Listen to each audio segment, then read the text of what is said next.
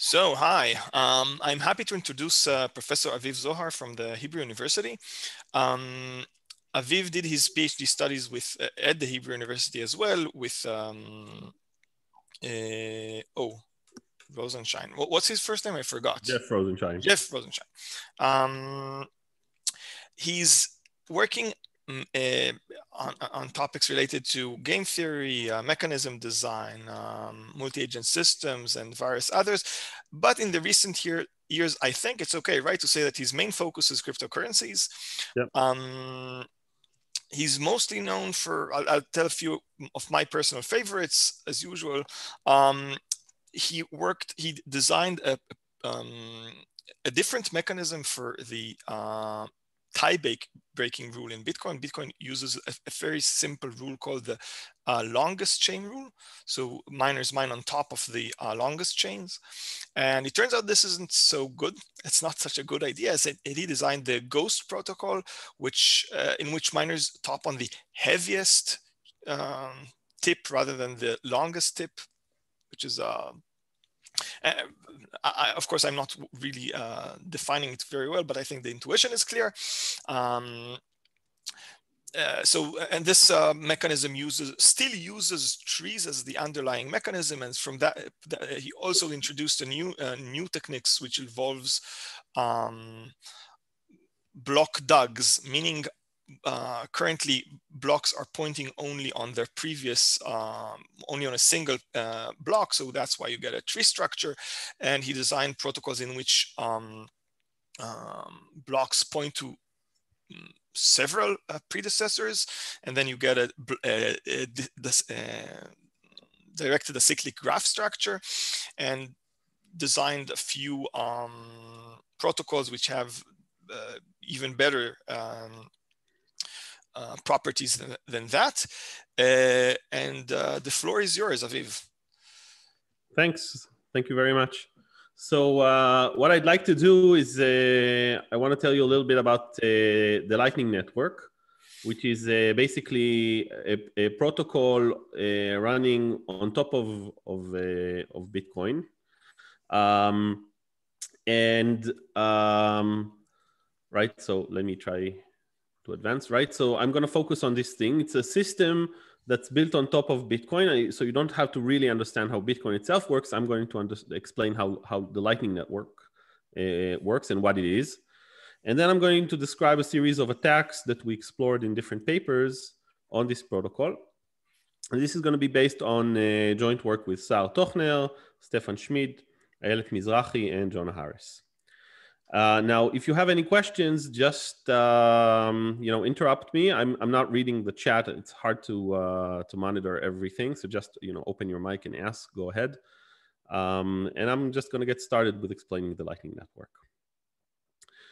Okay, so let's start with uh, a little uh, introduction about Bitcoin. So Bitcoin has a decentralized ledger, basically a record of who owns money, and this ledger is copied at every node of a you know very large computer network right? So each one of these computers remembers uh, how much money every person or every account has.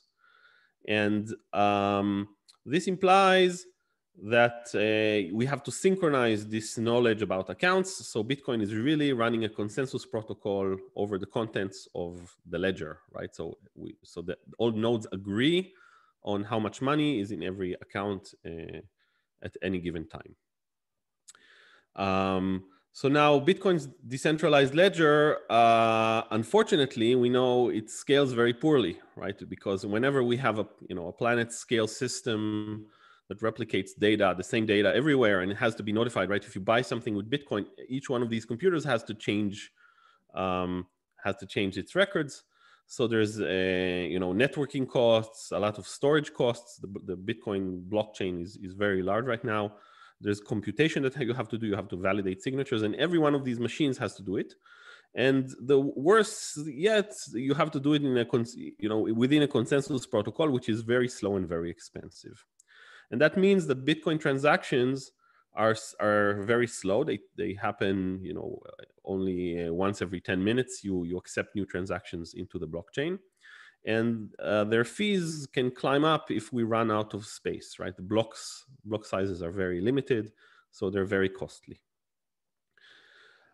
Right, so if we want to use uh, Bitcoin as as a payment mechanism and really have like an entire world adopt this system, uh, Bitcoin as it's, as it's uh, currently uh, built is not not enough maybe, and there are some approaches to scaling it up.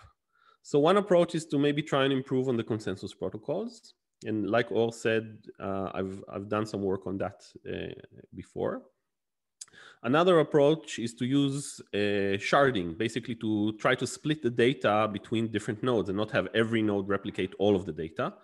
I think this is still considered an open problem in, in uh, public blockchains like, like in Bitcoin. Um, there's another approach that you that tries to get to scalability, and this is based on delegated computation, right? So if you if you know about um, this area of zero knowledge proofs and and the ability to prove that you've done computation, there's there are nice tricks that are being used to scale up uh, cryptocurrency systems. And the last and and maybe one of the more promising solutions is the lightning network that i'm going to talk about now right? So these are uh, lightning the lightning network is the specific instance of these protocols for bitcoin. Other blockchains have have similar uh, protocols but uh, i'm going to talk about lightning and and uh, the general class of these protocols is called off-chain payment channels um, for reasons let me add quantum money to your list to your future ah, list. Okay okay okay. Uh if you think it's a scaling solution i'm i'm gonna i'm gonna accept that actually. All right. So so now i i want to tell you a little bit about how lightning came to be but i i need to just to give a little bit of detail about how the bitcoin protocol uh, works not in the consensus layer but how the ledger is written basically so I, I want to tell you how how do you actually own bitcoins what what does it mean to own a bitcoin so the, the Bitcoin ledger, this data that's synchronized between all the nodes, um, associates an amount of money with a small script. You can think of it as a small computer program. Um, here's an example of one. Uh, it has only one operator, check sig, checks, checks uh, basically a cryptographic signature. And it gives a public key. And if you want to move the funds for this, uh, you know, this one Bitcoin that's associated here, you have to satisfy the, the, the script basically. Uh, you have to get it to return true in, in some sense. So when you uh, are executing a Bitcoin transaction, basically you have to show a signature on the transaction that matches this public key, right? This is what the script says. And that eh, and that would allow you to reassign the bitcoin. So what does it mean to reassign the bitcoin? You give new records right? New outputs where, where it's a, a, a, an association again of amounts with new scripts maybe with new public keys that allow you to allow, uh, send the money to somebody else. So if they if, if it's their public key. Um, and then what happens is when a node receives this transaction together it check it runs the script on the on the data. Um, and then we remove this uh, money from the ledger and we reassign it with the new scripts in there so this sort of functionality allows bitcoin to do things like have accounts that have multiple signatures right you, you need to satisfy the script you can show two you can require two signatures from two keys and all sorts of functionality right and this functionality can get really, really complex. Here's an example of a more complicated Bitcoin script with, with operators. And you can, you can recognize things like uh, hash functions and conditions and so on. Um, and this is uh, in general uh, when when people do uh, stuff with blockchains they can also you know this is this has been generalized to more turing complete languages uh, running on top of uh, ethereum for example and and so on um, so now this this is the, the backdrop to our to our uh, situation. We have a problem of scalability, and we have this script functionality that allows us to do something. And uh, on top of that, uh, slowly there was there were a few ideas on how to move money that that gave us a layer two solution to uh, to transfers, basically a layer built on built on top of Bitcoin. So I'm, always going to assume the existence of the blockchain kind of in the background running, and uh, you can always send transactions there and check scripts. Um, and we're going to build a payment system on top of that. So the ideas really were finally put together by uh, Joseph Poon and Tadge Dryja. Uh, I think they were both students in uh, Stanford at the time. Um, and there's a really a collection of ideas that evolve over time. It's not all theirs. So the, the key idea to the Lightning Network is that we're going to have a very small set of participants communicate in order to move payments. They're not going to touch the blockchain most of the time. They're only going to settle their accounts on the blockchain at the end of many, many transfers. This is going to help us scale up because we don't have to have the consensus protocol basically running on every transaction and um, it's going to be much uh, much cheaper. Any questions uh, thus far before we get started with the protocol? Okay. So the basics of the protocol is this thing called the bidirectional channel. Okay, so we're going to have uh, two participants who want to send a lot of payments from one to the other. And what they're going to do is they're going to set up a channel between them. So, so the channel is basically just a joint account. Okay, so let's say each one of them deposits two Bitcoin, uh, uh, sorry, one Bitcoin each, uh, a total of two Bitcoins, into a joint account. And when I say a joint account, I mean they assign it to this uh, script that says that it can be redeemed only if both of them together sign a transaction, right? So both Alice and Bob have to sign some transaction to get the money back. So now, of course, once they put money into the account, their uh, main concern is, that, you know, getting it back at some point. Uh, if Alice creates an account with Bob, Bob might disappear and, and, and she might not get her funds back. So before they actually send the money into this joint account, they prepare in advance a transaction uh, that uh, they both sign that gives them the money back. Okay, so Alice can get one Bitcoin and Bob one Bitcoin, and both of them sign it cryptographically, and they keep that transaction around to recover their funds. Okay, so that kind of ensures them if against the other side uh, disappearing. Now, what do they do if they want to move money around? Right, so th this transaction is, is kept. It's never sent to the blockchain, right? They keep it uh, on the side only in case of emergency, right? Uh, for uh, if they want to use it. Um, so the money is still locked on the blockchain, basically. And now, if Alice wants to move money to Bob, what she can do is basically create a new transaction that allocates these funds instead of one Bitcoin to her and one Bitcoin to Bob. She gives 0.9 to herself and 1.1 to Bob. And she signs this and she sends it over to Bob. And now uh, Bob can basically say, you know, I have this transaction. I can always send that to the blockchain and I will have my 1.1 Bitcoins instead of one. So I, I, I, can consider this money transferred. Except that there is one problem. We still have Alice's old transaction here that gives her the whole uh, Bitcoin and not 0.9.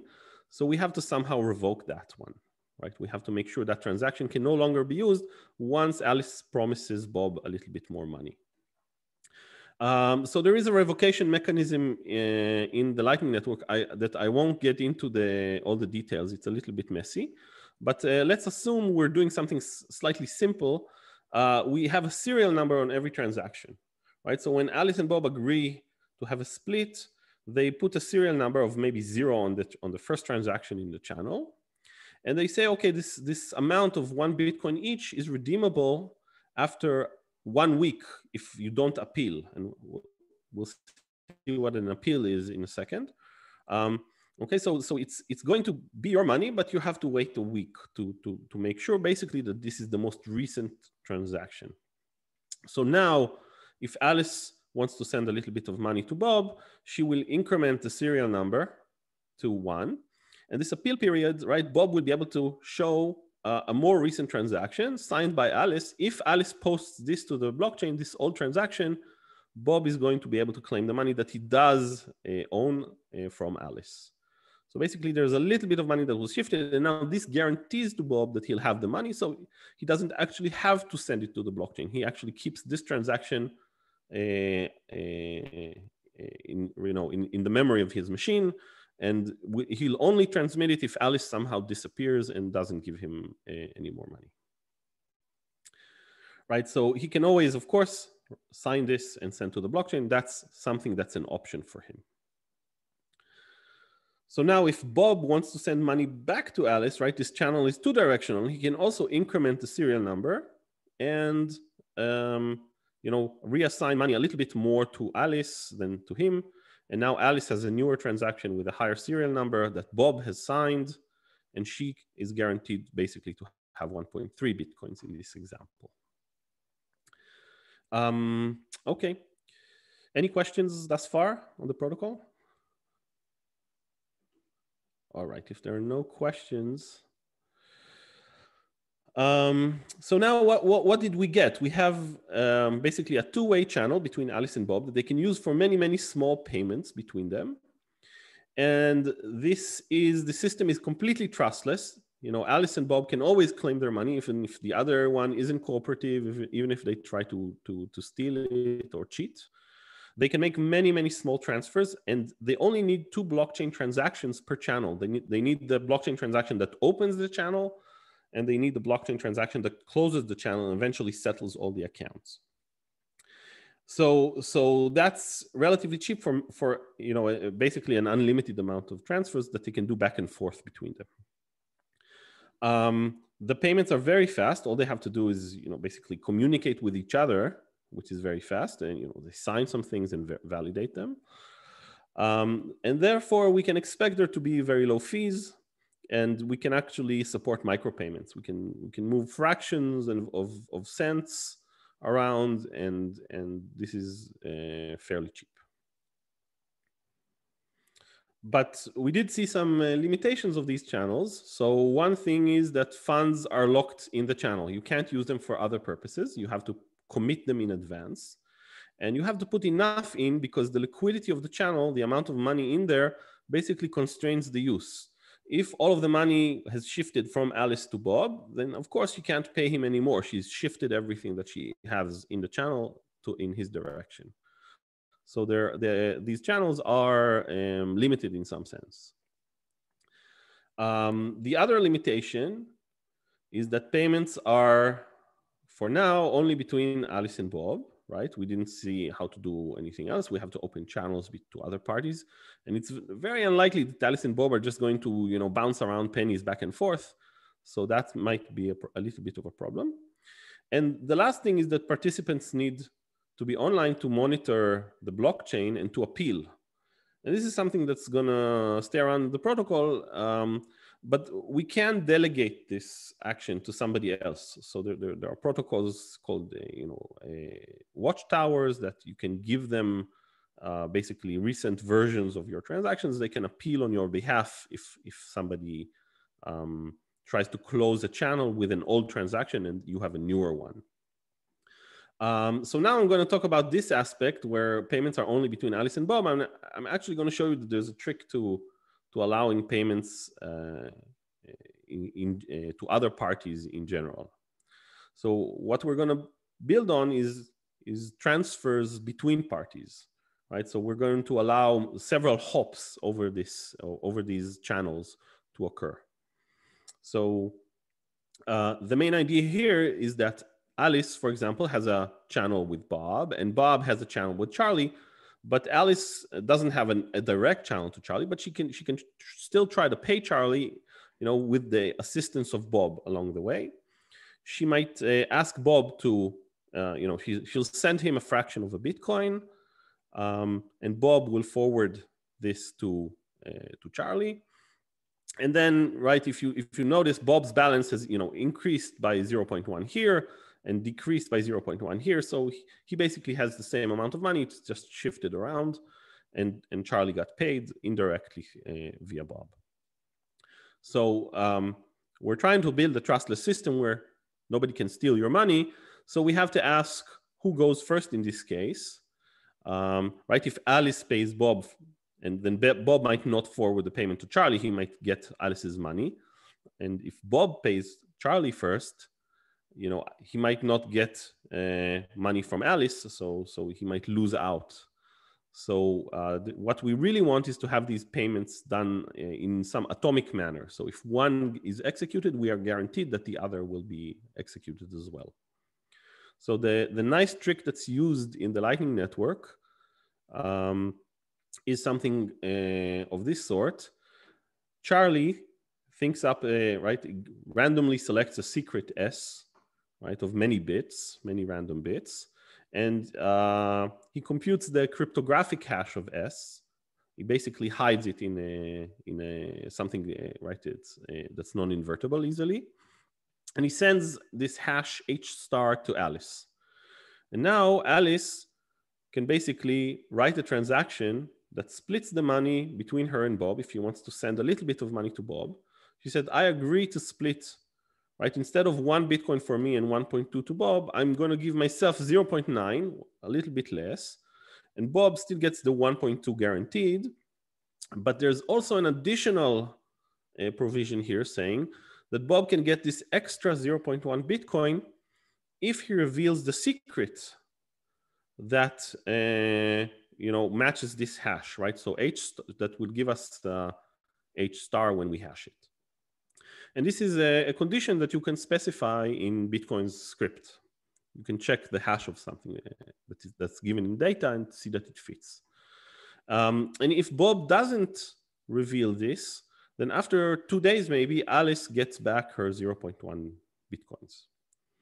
Okay, so Alice isn't worried about giving Bob this, this guarantee because he can't pull, out, pull the money unless he has the secret. The secret is going to be released by Charlie only when he gets the money from Bob. Now, Bob himself can agree once he's had this promise given to him that if he reveals the secret, he'll get a 0.1 Bitcoin. He feels safe. He can say, okay, if I have the secret, I'm going to get paid by Alice. So I can promise Charlie this is 0.1 Bitcoin if he gives me the secret. and this um, basically guarantees that um, that Bob will be safe. Um, so now what happens is that Charlie has the secret, so he can get this 0.1 Bitcoin. Um, it's basically his, right? Once Bob sends him this transaction, this money can be uh, considered uh, to be owned by Charlie. So he will send back the secret to Bob. He'll show him, you, you know, here's the secret, I have it. Um, and now Bob has the secret uh, as well. He can show it to Alice and everybody knows that effectively the money has been transferred. So, so this um, you know slightly elaborate setup, these conditional payments here are called HTLCs or hashed time locked contracts. Uh, and they are the basic mechanism that allows us to use multiple hops, and you can use more than just two hops in the Lightning Network. Um, so now you can check and see that if uh, you know any two parties try to cheat the third, the, they can't get away with it. Um, for example, if Charlie and Alice try to cheat Bob, right? So what will they do? They can try to take Bob's money, right? So uh, Charlie has this secret S, so he might sign this transaction and send it to the blockchain. And now, um, you know, Bob is going to try and recover his money. So he needs the secret S, to, but but it's visible on the blockchain. The blockchain can be monitored by everybody who's connected. So he has S by monitoring the blockchain. Now he's guaranteed to have this these funds. He can also sign this transaction and, and get all the money. Um, you can also look at what happens if Charlie, for example, stalls and tries not to complete the payment. Then after a while, these the, the all these funds re, uh, revert back to to their owner right? So you can see that there is a, an expiration date here an expiration date here. Um, but we, uh, as i wrote it here that the two day expiration here and here is not a good idea. You actually need expiration dates to be uh, uh, staggered uh, so that these transactions expire first before you know the earlier transactions in the path uh, and this is to keep to make sure that Bob gets his money from Alice if money is withdrawn from him. If this later transaction expires first, then uh, then uh, that means that Charlie can't take money from Bob uh, without Alice, uh, Bob being able to take money from Alice. So this usually has a you know like a one day expiration. This will have a two day expiration expiration on it. So so that's the basis of the Lightning Network. And now just to to assure you, this this network is real, right? It's it's built it's running. There are a lot of nodes. What you're seeing here is a visualization of the nodes of their location. Um, we know we you know it, the the number of nodes has been slowly increasing since uh, the deployment. We have slightly over ten thousand nodes, and the amount of money locked in channels is somewhere around you know seventy five million dollars right now, and this is um, maybe due to the very large increase in the value of Bitcoin recently. But uh, you know, this this the amount of bitcoins locked in channels has been uh, you know over the last few years constant. You know, maybe climbing a bit uh, in the past two years. Um, but that means uh, there's a lot of value there, but not still not still not enough for a very huge payment system, right? So 75 million dollars sounds like a lot, but not for a financial system. So, but, but it's been growing. So this is a good time to ask questions about the protocol because I'm gonna switch over to talk about the attacks. Um, if there are, no questions. Yeah, I I do have a question. Um, how can we make sure that it's that like, let's say that one of the nodes, either Charlie or Bob, like wants to cheat someone else. Yeah. How can we make sure that the computational time that it takes to like steal the secret without without like giving it back yeah. is is more costly than actually obeying by the laws of the the protocol. So so the secret right the secret is usually something like 256 bits long. So it's you know and, and what you were using is cryptographic hash functions so, you know, if you can break cryptographic hash functions, you can ruin a lot of protocols. Uh, but basically, the time it would take you if, if you're brute forcing it is, you know, uh, something on the order of uh, 2 to the two, 256 uh, computational steps, right? So if the bits are really chosen at random uh, and you're doing this well, um, then then it's impossible to to steal. And and the amounts of money that we're talking about here are small to begin with. These are intentionally intentionally small amounts, right? So that's a that's the main idea. Does that answer the question? Yes, thank you. Okay. Any more questions by anybody? Okay, I'm I'm I'm gonna go on if there are no questions. Um, so the first thing I, I want to show you, right? I, I want to show you basically a th- series of three papers uh, that each one of them tried a different route of uh, attack on, on this on this protocol because we really liked it, right? It's re- it's a really nice protocol, and, and I think these things should be tested. Should kick the tires a little bit to see if you can break them. Um, so one uh, one attack is basically base, uh, you know trying to to manipulate the routing mechanism for for the Lightning Network, and this is joint work with Stefan Schmid and, and Saar Tochner. Um, so the idea here is, is first you need to understand how routing works in, light, in the Lightning Network. So the routes in the Lightning Network are chosen by the sender. Okay, the sender just says, you know, here's the path I want to take through the network.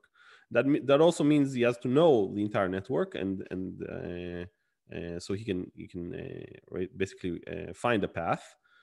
Um, right, so the, the sender does know the network structure. This is advertised by the nodes. Uh, the, he knows the total liquidity of the channels, not the current liquidity, but the total liquidity. Um, uh, and he knows the fees that each one is going to take, right? So, so a certain node along the way doesn't actually move the the, the money uh, for free. They, they take a small fraction of it as, as, as commission for, for their work. Uh, and this incentivizes them to, to actually, you know, connect the network and add liquidity to, to channels. Um, so the routing is actually a little bit like Tor routing, it's onion routing. So every node knows the previous hop and the next hop, but doesn't know necessarily know this, you know, the sender and the and the target. So there's an attempt to preserve a little bit of anonymity so you don't know who's paying who. Uh, and now here's the, the, the main idea of the attack. what we're going to do is we're going to try and connect to the network with, with a, a node or uh, several nodes. And uh, we're going to form channels that say, you know, we, we're going to charge very low fees, okay, extremely low fees. And we attract uh, traffic basically through our node. Okay, so uh, everybody who, who, who is promised a low fee is going to go through our node. Um, uh, right? Because uh, everybody else is charging more money. And then what we're going to do once they route through us is we're going to perform a denial of service attack. We're not going to relay their payments. We're just going to get the HTLC. We're not going to continue.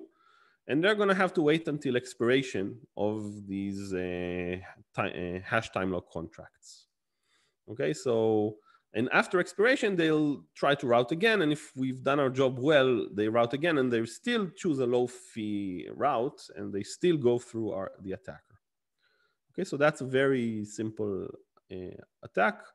Um, and uh, what we went and did is we went to evaluate the routing algorithms of the implementations of Lightning. So there are three main implementations that are out there.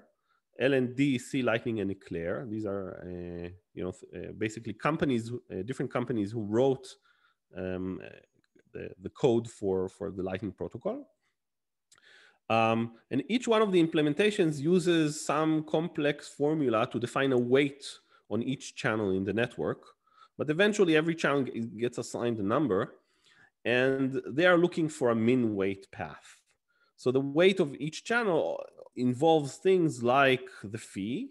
Uh, so they're trying to minimize the cost, but also things like the delay. How long uh, does uh, it take to, for money to, uh, how, how long is the HTLC locked for? Uh, and they try to minimize that. And the, the, there's a different formula for each one. I, I won't go into the details as, as, as, you see, it's a little bit complicated. Um, but every one of these implementations has a, a, way to try and avoid picking the shortest or lowest cost route consistently, right? Because you know if this you try to route through this path and it failed, then you're going to want to try another route um, and not pick the same one which just failed. Um, so for LND, they're trying to have a penalty term on on on uh, on uh, edges that that failed us before. Uh, C Lightning uh, tries to add random noise to this weight function at, at, different places, and Eclair just picks it randomly from the three best routes. Um, so all of these routing algorithms are basically susceptible to, to the attack because they, they, when when they you know C Lightning does fuzzing, they do too too little of it. Um, NL, LND's decaying penalty term decays too fast. You know, within you know it decays exponentially fast and picking from the three best routes, it doesn't help you if all three routes go through the attacker. Um, so I'll show you the, the results in a second, but what, what we went and did is we looked at the Lightning Network and you can get statistics on the fees because everybody publishes them. Uh, so you see the different channel fees, right? There, there, are, there are amounts that are very well represented because these are just defaults that are there for each implementation. Um, and you can see the time of delay and uh, right uh, so fees are are, are usually uh, made out of two parts uh, proportional fee uh, depending on the size of the payment and a constant fee for the transfer. Um, and there you can look at the channel capacities. There are various statistics that, that we uh, can utilize. And now what we have to do is we have to choose where to connect in the network right? Where do we want to be connected? So we have to pick a set of uh, nodes in the Lightning Network to connect to. Uh, and if you think about the attacks, it's not really surprising. Uh, finding the best set of nodes that the attacker should connect to in a, in a graph with fees is, is an NP complete problem, right? It's very hard to, to compute the optimal uh, uh, location. But uh, what we use is a greedy approach. We just try to maximize the, you know, each edge at a time the amount of traffic, uh, the amount of nodes that we, we, we manage to route through, through the attacker. And the greedy approach works really well here because um, the success level of the attack is a submodular function. So we can basically do submodular optimization and we get a good approximation for the, for the optimal attack. So now when you look at the different implementations, you can see that very few links right? This is based on the Lightning Network of, of I guess, uh, uh, maybe a year ago or, uh, or so. Um, you know, we add a very few links and we hijack a very high percentage of the paths. So if we add maybe five links, we've hijacked pretty much 80% uh, of, of paths between different pairs. And you can see that all three implementations here are vulnerable uh, when, when we try to, to, uh, to target them. And uh, one thing that w- another thing that we did is we, we used a random strategy, just connecting to random nodes instead of picking optimal ones. And you can see this uh, graph here also still allows us to hijack some stuff.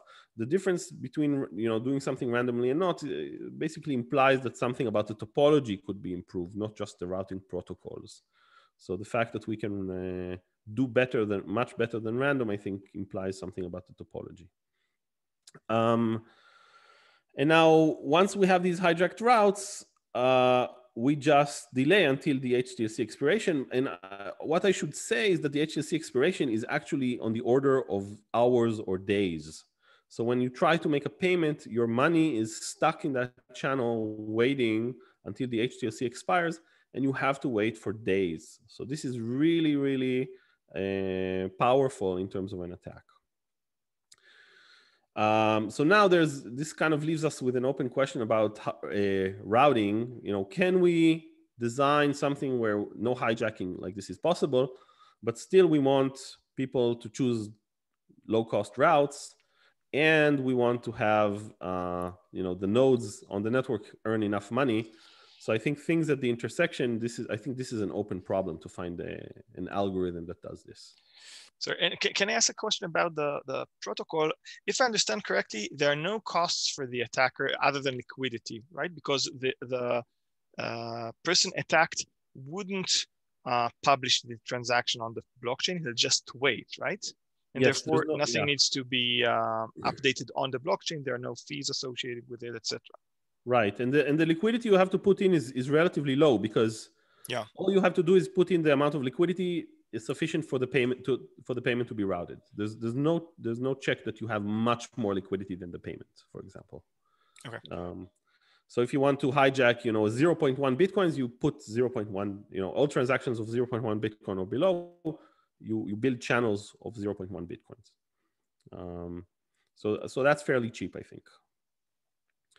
Um, so, so I think this is, uh, you know, th- this is really an active uh, line of uh, um, development for these protocols. Some of them are still evolving their uh, uh, their routing protocols.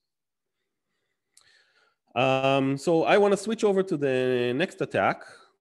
This attack is basically a congestion attack. So we're kind of following the motif of, of networks, right? So how do you attack networks? One way is to is, is to attack the routing layer. One way is to somehow attack the transport layer and, uh, and get congestion in there. Um, and this is work, work done with Ayelet Mizrahi. Um, so now what, what we want to understand, what we need to understand about the Lightning protocol is that if you're routing several payments through this edge at the same time, the transaction size increases, right? There are all these um, conditions on, on payments that are slowly being added until they are resolved. If the secrets propagate back, then these get erased from these transactions or the transaction gets replaced. But as long as the secret hasn't propagated back, we are adding more and more conditions, more secrets that you know Bob needs to give in order to, to get money. So HTLC, the number of HTLCs grows. Um, right? So if the secret, of course, is propagated back, then we'll erase them. But if the secrets aren't propagated, we're stuck with this really, really large transaction that we're going to have to post to the blockchain. Um, so uh, these HTLCs, I remind you, take you know days to expire, up to two weeks. This is a constant in the protocol that was you know a, um, maybe a default value in the protocol. Um, and when you have 483 transfers like these open at the same time, you, your transaction is so large that it doesn't fit into a Bitcoin block anymore. So there's a maximal number of open connections that you can have on a channel that is 483. And this is a limitation set by the blockchain, right? There's, there's a limit to the size of transactions you can send. Um, so now you can probably guess what the attack is. We're gonna connect to the network with the attacker. We're going to request many transfers to, from, you know, from one attacker to the other, or from one attacker not to the other, or we actually do this in circles. That's also fine. Um, and we do a 483 payment requests that are for the minimal amount that we can, right? Basically, the smallest amount we, we can transfer. Um, and we are allowed to do 20 hops in the network. So all paths have to be 20 hops or low or, or, or below that. And then the end node, which is an attacker node, just doesn't propagate the secrets back. So we've reached the maximal transaction size on every channel, and the channel is effectively blocked until all these HTLCs expire, which is again for hours or days, right? More, more uh, uh, towards the days. And, and basically, if we do this many, many times, we can start to cut up the network and make it uh, uh, so that nodes can't transfer payments from each other, or we can isolate individual nodes. So, so this is basically uh, what we did. So what I'm showing you here in this table is the default values for each one of the implementations of Lightning, right? We talked about LND, C Lightning, and Eclair. So the max, the lock time max is the number of blocks for which these HTLC, HTLCs remain locked. So we have a number of 200, uh, 2016 blocks. Uh, and if you remember in Bitcoin, every block uh, takes around 10 minutes to, to produce. So two, two, 2016 is uh, roughly two weeks uh, time. So you have to wait for two weeks until, you know, at the maximum of two weeks until HTLCs expire. And then another interesting number here is the number of concurrent HTLCs. And this the, the the bolt here, bolt is the you know kind of an RFC document for for the for the Lightning protocol. Uh, it basically specifies that it has to be under 483, and different implementations have set it either to 483 or to 30. Um, fortunately for us, the vast majority of nodes in the Lightning Network are uh, LND nodes. So they use the number of 483, and we can almost ignore the other two implementations because they didn't have a lot of nodes deployed, um, at, at, least at the time when we wrote the paper. So like something like 95% of the nodes are LND nodes.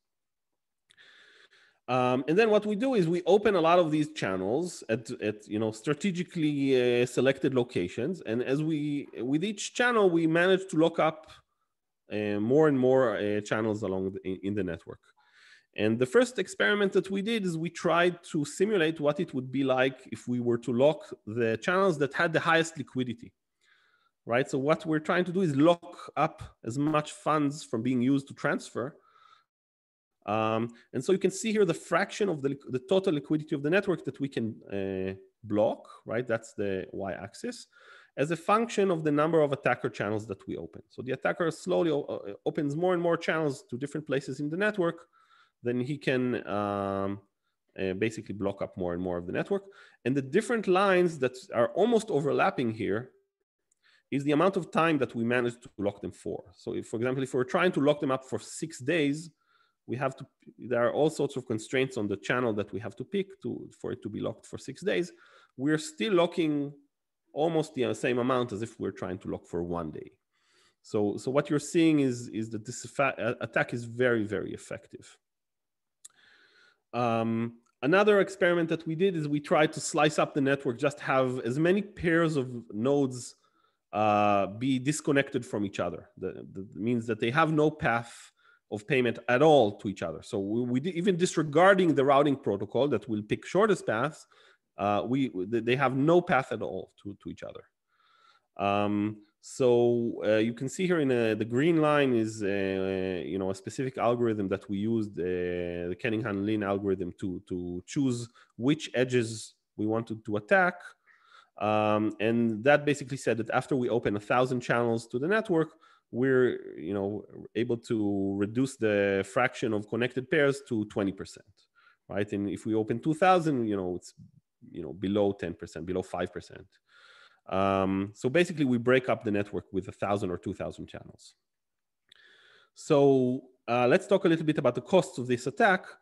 Um, as as we open uh, more channels we have to pay uh, two different types of costs. The first cost is fees that we have to pay on the blockchain, right? We have to give uh, uh, uh, fees for for opening channels, and this is uh, the area not denoted here in blue. And there's uh, we also need to lock liquidity in our channels to allow us to request 483 payments that are of the minimal value. And uh, so this is this brown area here. And you have to recall that the brown area is not really a cost that we incur permanently in some sense. This is money that's locked in the channel, but it remains in the hands of the attacker. It, you can basically get it back. You can withdraw it. Um, so the, the, you, you, you, you're losing some uh, interest uh, on this, but it's relatively negligible uh, compared to uh, the blockchain fees. So what happens is that, you know, when you want to lock up a lot of the capacity, right? If you want to lock up, you know, something like 800 bitcoins, you have to pay far less than you know half a bitcoin in in liquidity, uh, in in fees to open channels and run this attack.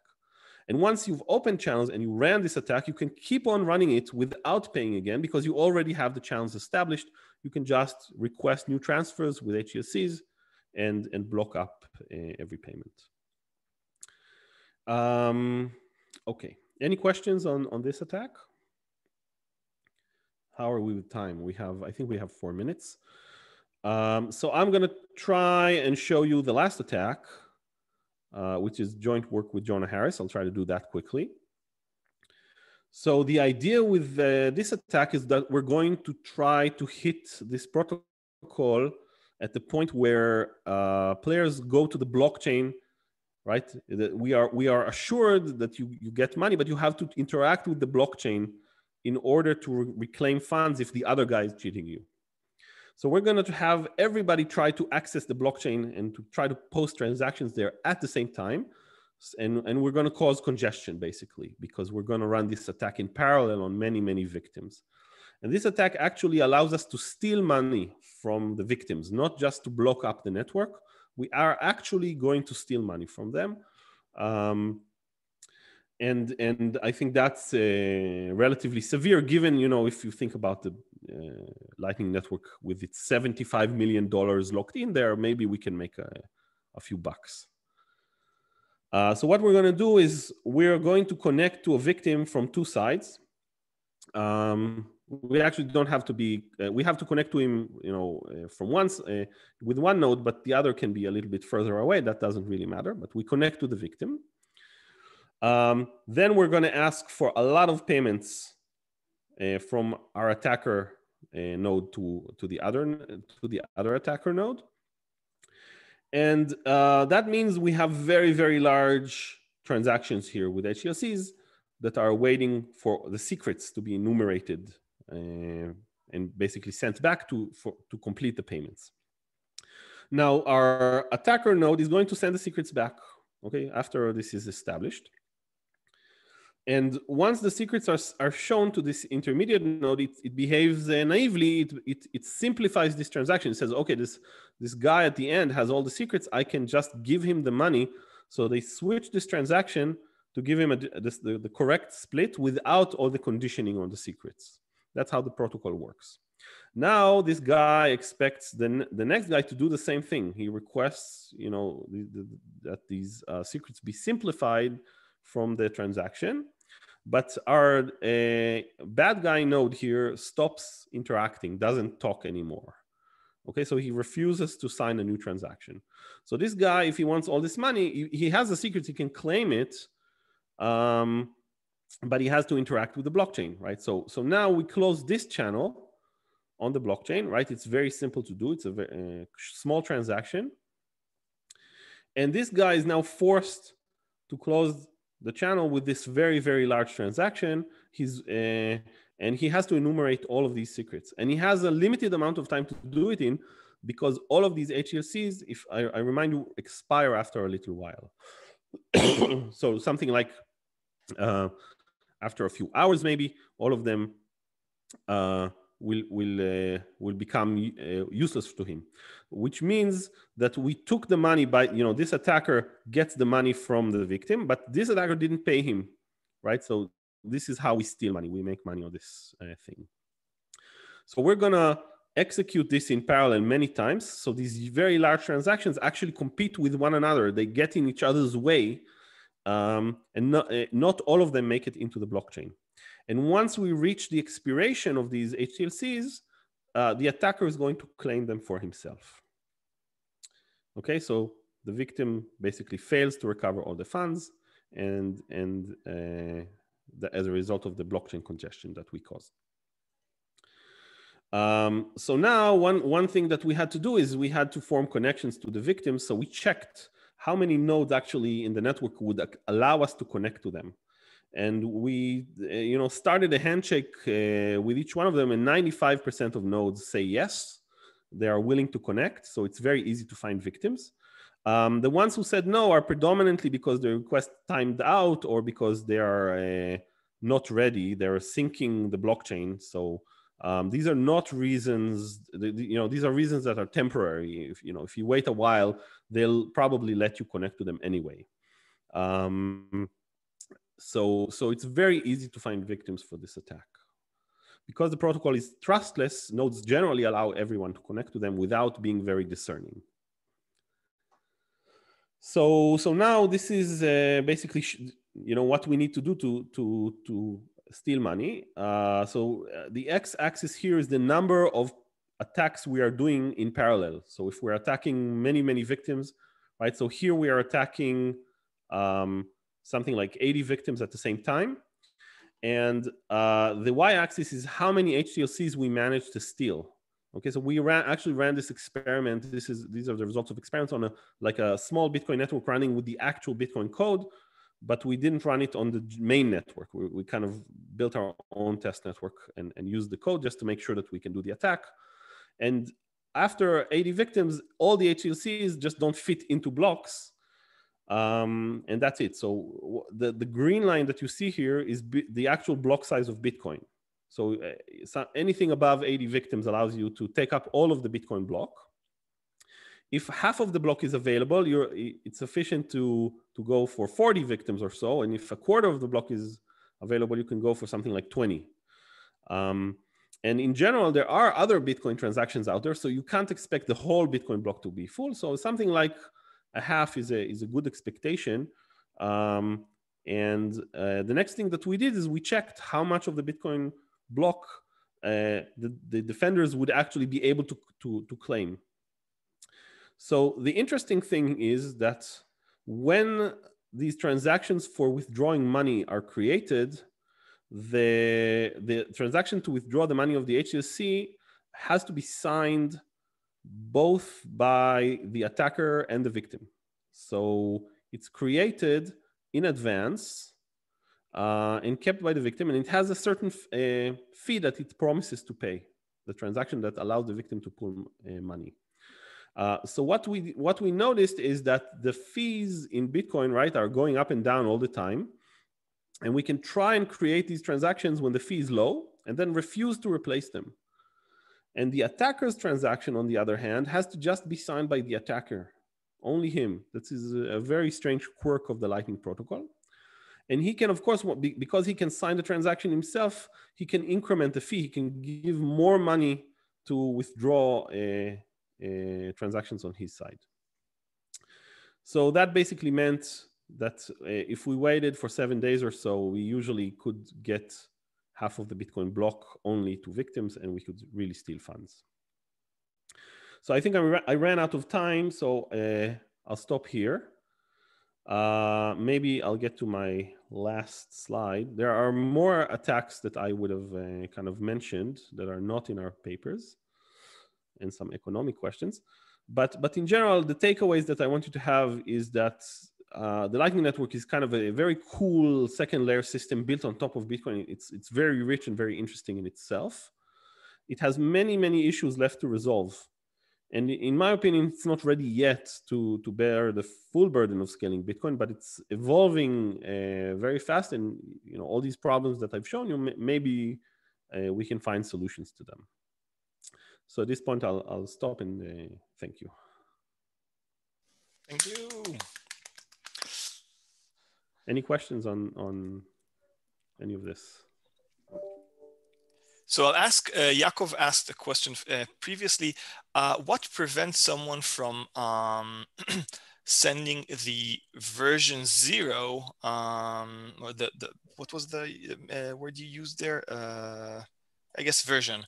And uh, how does it help that there's another more la later version of that transaction and how does it prevent theft? So, so the, uh, the, the idea is that when you send a transaction, you don't get the payments instantly. You have to wait for a week, and during that week, anybody who shows up with a newer version that is signed uh, can can preempt you, can basically take the money himself. Okay, so if you used an old version, then the other guy who, that has a newer version can can has a has a, a limited amount of time to to appeal, basically. Okay, does, does that answer the question? Okay. Um, any more, any more questions? questions? Um, uh, I have a question actually. Um, what about L2, uh, ELTOO, in regards of the last attack you mentioned? Because I know you can set the, the fees dynamically there. Does it help against the attack you mentioned, uh, last attack you mentioned? So, so we did. We really didn't evaluate this for L2. I, I will say that you know the, the the basic idea that there is congestion on the blockchain, and and you can't uh, you know fill it up with appeals, kind will kind of hold anyway, right? That's that's a problem. Uh, you could try to manipulate L2. I haven't looked at the details of how you know L2 would set the fees and do all these things right? Setting the fees, but I will say that setting the fees dynamically is even possible for for uh, the conventional Lightning protocol. You can do things like child pays for parent, if you know that. And child pays for parent will allow you to withdraw transactions even if you didn't put enough fees for them. But the, the cost is that you are increasing the congestion even more because you're adding an extra transaction that that takes uh, uh, tries to, to to do the withdrawal. And um, that's so that, that's one thing. And on and on the and on the other side is the attacker. The attacker is willing to put to post very very high fees up to the amount of money that he's stealing because it's not his money he doesn't care. So he can at the very least make you you know burn all your money in the channel. Yeah, um, yeah so l2 I, uh, the bottom line is you you have to look at it more carefully. I, we didn't do that. And sorry for for those that are not, uh, I don't know what L2 is. I've heard the the name, but I'm not even sure what it is. So so there so L2 is a, is another uh, protocol that tries to do basically similar stuff. I see. So it's an alternative to the Lightning Network. It's L2 is a kind of a pun on layer two, right? It's called E. It's spelled E L T O O, but it's uh, layer two. Okay. Um, any more questions? Sorry, I have uh, a few actually. First of all, have you seen these attacks uh, in the wild? Others, of course. Um, so not yet. I, I think there's relatively little motivation right now to attack because uh, let's be honest, the Lightning Network doesn't connect too many systems to one another. Um, they, I, I, will say that the developers have been really interested in in these things, uh, and they're kind of taken to heart that you need to to to do some modifications for the protocols. Um, I, I, we, we did we did make some suggestions in each paper. In each paper, we have some mitigations that we we proposed, and some of them were discussed in other contexts. So I think I think uh, we we contributed a lot to the discussion on what to do and how to evolve the the standards there. And why does the flood and loot isn't in the wild? It seems like this is a practical attack where you can gain money. Uh, why not? Uh, honestly, I I think surprised like it can just, just be done. I think you can just do it. It's very. I think it's relatively easy to do. You know, you and you'll actually gain money, right? You're saying uh, you're yeah. you expect this to be successful for the. I mean, attacker. what you need to do is you need to lock up funds that are, uh, uh, you know, on the same order of magnitude that of the funds that you're stealing. Sure. Right. So so it's so if you're going to make a lot of money, you're going to put up a lot of money in advance. Um, and it's gonna might be harder to get away with because once the funds are stolen, you know, today exchanges sure. uh, kind of sure, block sure, stolen funds and so on. Sure, sure, sure, sure. Okay, uh, last question. In terms of design goals, it seems first of all, I, I, I think I told you it before. It seems like the design goals of um, one of the design goals of the uh, Lightning Network is kind of privacy. And I think that should definitely be removed. It seemed like this is an overkill. We can't achieve much more standard notions of security. Uh, privacy should be the last priority at this point. But it seems like most of the attacks are, aren't even about that, right? Even if the if you kind of removed all design goals related to privacy, like the Tor network and uh, yeah, yeah. still the, the attacks would work. So I'm, I'm wondering if the only way to resolve it is um, kind of like to move to to switch to a hub and spoke kind of model uh, which which i don't know it seems for me that these attacks wouldn't work in a hub and spoke model. Maybe i'm wrong here. Mm-hmm. uh, uh, and so that's one possible direction. And the other well are there any other directions? So maybe I should first say that you know hub and spoke is something that the network gravitates towards uh, anyway because of economic incentives in some sense. You know you prefer short sure. paths and you know sure. hubs give you very short paths. On the other hand uh, they, they are very costly in terms of liquidity. You have to lock liquidity for every edge um, uh, yourself as, as the hub. You have to match the liquidity that people are, are locking uh, so that might be a little expensive, but but but uh, but you're right that it will mitigate these attacks. On the other hand, it will open the door if you just you know you you uh, DDoS the um, the hub, then the network doesn't work. So you have to build a lot of redundancy there, and um, it's it's a single point of failure, right? You don't want that. Somehow you wanted something trustless that will still operate well. So so um, it's it, it, it, needs to be distributed and decentralized and all these things and the hub and spoke model isn't um, I, and I will say about privacy, one of the attacks I wanted to mention is, you know, the, there is there's the utter lack of privacy in this protocol. I can I, maybe I can show this slide um, for a second. It's it's a very very short slide, right? So so what you can do, uh, this is this is the slide. Um, right? Let's say you're connected somewhere on the network, not necessarily uh, uh, close to these nodes. You can ask for a payment to be routed through through an edge, right? So let's say there is a total of two two bitcoins locked here, and you want to know where these bitcoins are allocated, right? So you can ask to relay one bitcoin, for example, and they say, you know, one of the nodes says, no, I can't, I don't have enough liquidity, and then you can try again with a different amount uh, and they say, uh, okay, we'll route your payment, and then you just cancel the payment. So you don't even have to move money, right? But now you you you say, okay, there's between 0.8 and one Bitcoin liquidity in this channel, and the, you do queries. You basically do binary search, right? Um, and then you know the amount of liquidity on each uh, edge. And you can repeat this many times for all edges and just you you you know and whenever somebody makes a transfer you can see the entire route change right? So so you, you can you leak information like crazy right? So this is a this is a, an attack a well-known attack. Uh, i think there are two papers or so that that explore it.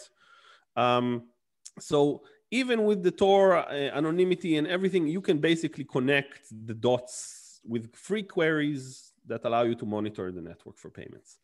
Um, and especially if you're targeting specific nodes, you can do it even better, right? You don't have to uh, do the whole graph. Um, and given that you know how the routing works, that's you know even easier. Um, and and and so right there's, there's no privacy here right? It's it's completely non-private. They, they, try to do tor routing and we know that tor itself is not private for all, all of the tor attacks also work here like you correlate if you're twice on the path you can correlate uh, uh, payments and so on. And you see amounts the amounts are, are visible to everybody on the, on the path and so on. Um, so so the privacy is really botched here. And i think one of the problems is that they they kept the layers instead of separate right? In, in the internet you have a routing layer which is separate from the onion routing that's on top of it right? Tor runs on top of it a, a lower le- level routing on bgp or something.